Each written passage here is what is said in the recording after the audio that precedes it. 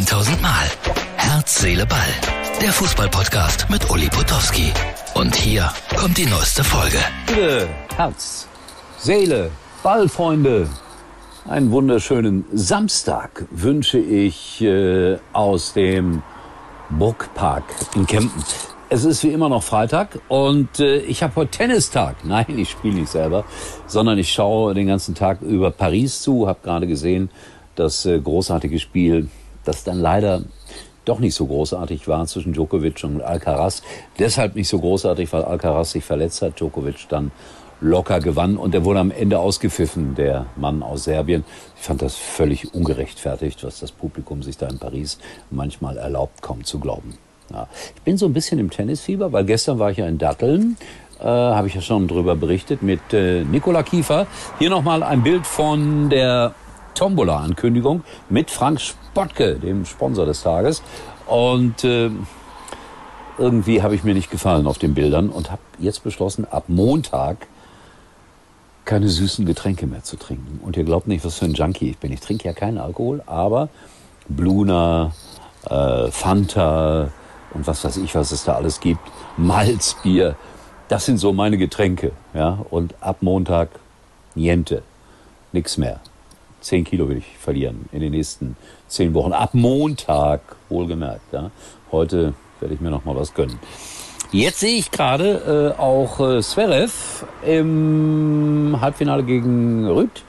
Und er liegt zurück nach dem ersten Satz. Und dabei fällt mir immer ein, dass seine Freundin, Fräulein Tomalla mal Nachhilfeunterricht von mir bekommen hat. Das ist lange her. Da war ich mit Rudi Assauer und Simone in Gütersloh. Da gab es ein Fußballspiel, ein Wohltätigkeitsspiel und äh, die Tochter musste irgendwie noch was äh, erledigen, schulisch. Sie war damals, ich weiß nicht mehr genau, neun, zehn, elf oder sowas. Und äh, Rudi und Simone haben gesagt, Uli, kümmere du dich mal darum. Ich weiß nicht, ob sie sich noch daran erinnert. Aber ich habe mich sehr bemüht damals. Ob es geholfen hat, ist allerdings eine ganz andere Frage. Aber da sind noch ein paar Sätze zu spielen. Best of five, wie mir, wie mir Boris gerade gesagt hat, da ist alles noch möglich. Boris kommentiert mit Michael Stach, dem Sohn des Nationalspielers von Mainz 05. Mein Gott, das hätte ich auch gerne gehabt, dass mein Sohn mal Nationalspieler wird. Jetzt stellt euch das vor, du bist Sportkommentator und dein Sohn ist Nationalspieler. Bist du da eigentlich immer am Rummeckern oder nur am Loben? Ich weiß es nicht so ganz genau. Was mir aufgefallen ist, am Nachmittag das Stadion in Paris voll. Mein Eindruck bis auf den letzten Platz, jetzt bei Zverev, äh, ja, so dreiviertel voll, würde ich mal sagen. Aber es kann ja noch voller werden in Paris. Und äh, es kann ja auch noch ein Fünfsatz-Match werden. So, das war viel Tennis. Am Freitag in der Pfalz, bitte das Plakat mal einspielen, lieber Martin. Da gibt es ein Wohltätigkeitsspiel mit vielen, vielen Spielern, Ex-Spielern aus der Fußball-Bundesliga. Bevorzugt, glaube ich, Spieler logischerweise, die alle mal beim 1. FC Kaiserslautern waren. Bitte mal einblenden, ist schon eingeblendet, dann könnt ihr vielleicht ein paar Namen erhaschen. Und ich sag's wieder, wer nur unseren Ton hört, also es gibt ja einen Hörpodcast und einen Sehpodcast, bitte mal einschalten auf MUX.tv, muxx.tv oder natürlich auf Facebook oder auf Instagram betreut von Tobi und Essen Pfälzer. Der wird die alle kennen, die da gerade aufgeführt wurden. So, Endspiel. Champions League. Inter gegen Man City. Ich weiß nicht, wie groß das Interesse in Deutschland an diesem Endspiel ist. Findet in Istanbul statt. Und mein, wie soll ich ihn nennen? Mitbuchautor Wolfgang Bosbach, seines Zeichens Politiker, äh, der hat einen Enkelsohn und äh, Wolfgang hat einen türkischen Schwiegersohn. Fantastischer Junge.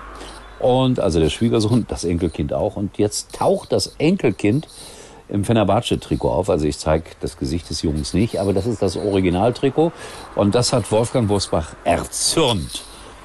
Er, Anhänger des ersten FC Köln, sein Fleisch und Blut, klar, Enkelkind, im Trikot eines äh, Istanbuler Vereines er hat ihm ein Trikot vom 1. FC Köln geschenkt und jetzt ist da wieder alles in Ordnung. Nein, der ist sehr tolerant und wenn der Vater ab und zu mal, ja, so die Urzustände ins Haus lässt, dann ist das auch in Ordnung. Ja. Eine lustige, äh, lustige Geschichte erzählt Wolfgang auch immer bei unseren gemeinsamen Lesungen. Also im Atatürk-Stadion in Istanbul findet das äh, Spiel statt. Und äh, mein Favorit ist, tut mir ja leid, auch wenn viele, glaube ich, zu Inter halten werden, Man City wird das machen. Hm? Oder? Atatürk, Geschichtsunterricht, der Begründer der modernen Türkei. Hoffen wir, dass sie auch wieder richtig demokratisch werden in der Türkei. Oder ich will mich da nicht einmischen, bevor ich da wieder Ärger kriege von den vielen türkischen Zuschauern von Herz, Seele, Ball. Um Gottes Willen.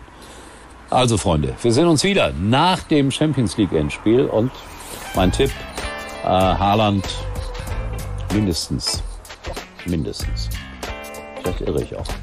Ich irre oft. In diesem Sinne, bis morgen. Das war's für heute und Uli denkt schon jetzt am Morgen. Herz, Seele, Ball.